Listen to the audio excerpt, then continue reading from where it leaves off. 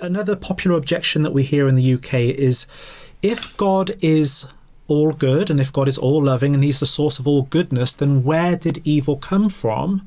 And why is evil so prevalent in the world today? Yeah.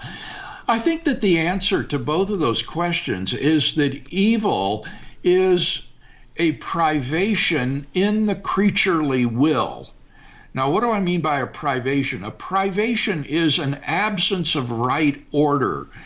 For example, in physics, uh, cold has no positive reality. Cold is simply the privation of heat. Uh, darkness has no positive reality, it's a privation of light.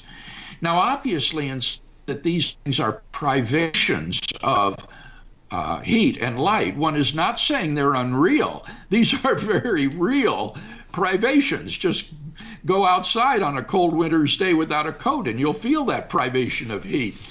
So, evil, I would say, is a privation of right order in the creaturely will uh, that is the result of human freedom to rebel against God, to do what God does not will and that as a result of that lack of right order, moral evil is introduced into the universe. Mm.